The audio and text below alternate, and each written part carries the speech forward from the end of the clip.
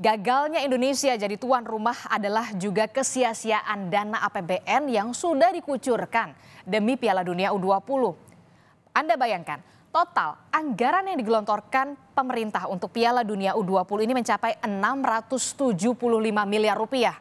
Rinciannya adalah 500 miliar rupiah untuk anggaran persiapan timnas serta penyelenggaraan acara dan ada 175 miliar rupiah untuk renovasi lima stadion yang akan dijadikan venue Piala Dunia U20.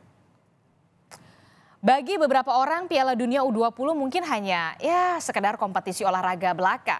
Tapi dengan batalnya Indonesia menjadi tuan rumah Piala Dunia U20 sudah mengubur impian banyak anak muda dan para pecinta sepak bola yang berharap pesepak bolaan Indonesia bisa maju hingga ke kancah dunia.